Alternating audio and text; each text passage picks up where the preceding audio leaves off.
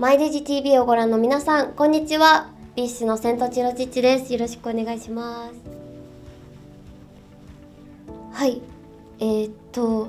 私は、行定監督とタッグを組んで、どこから来てどこへ帰るのという作品で、千代という役を演じさせていただいたんですが、千代はとても純粋な女の子で、植物を愛して、文学を愛して素直に生きている女の子なので私も素直な気持ちで純粋な気持ちを思い出しながら自分らしく挑む挑みさせて挑む。挑む。挑むしました。はい。あのお芝居にはすごく前から興味があってやってみたかったことなんですけど6人が一気に挑戦するってことで自分の楽しみもありながらみんながどんなお芝居するのかなどんな世界に入るのかなっていうのがすごく楽しみだったのでめちゃくちゃワクワクしてたんですけどあの出来上がってみて予想を超えた面白さがあって BiSHってやっぱおもれって気づかせてもらったのですごくいい機会でした。見ていただきたいポイントはたくさんあるんですがそれぞれのいつもと違った表情とかこう散りばめられた個性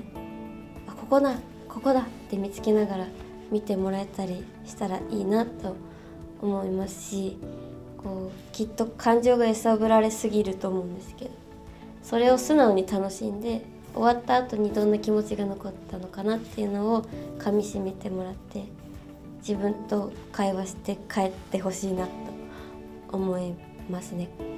こだわりとかはみんなそれぞれあると思うんですけど私はこうモノクロの世界で本当に映画の世界を作り上げてきた方たちとやらせていただいたのでとにかく全身全霊 あのお芝居させていただいたので